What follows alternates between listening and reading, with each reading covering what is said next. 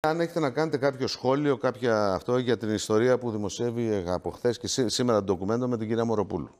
Το ξέρετε το θέμα; Το, το, το διάβασα την ανακοίνωση της κυρίας Μοροπούλου. Δεν νομίζω ότι υπάρχει κάποιο ιδιαίτερο θέμα. Υπάρχει θέμα ηθικής τάξης, η, κυρία, η κυρία Μοροπούλου αντιλαμβάνουμε ότι έχει μια δικαστική διένεξη με το ελληνικό δημόσιο, διότι χρήματα που αναγνωρίζει ότι πρέπει να δώσει στο ελληνικό δημόσιο είναι υπό συζήτηση για το πόσα είναι αυτά που πρέπει να επιστρέψεις. Ναι, διαφωνούν για το πόσα είναι είχε αυτά πάρει, είχε πάρει κάποια σύνταξη για την οποία είχε κανονικότατα φορολογηθεί και έχει μια τέτοιου είδους διένεξη η οποία, Δεν μόλις, θέμα η οποία μόλις λήξει δικαστικά είναι προφανές ότι θα πληρωθεί από την κυρία Μοροπούλου. Μάλιστα.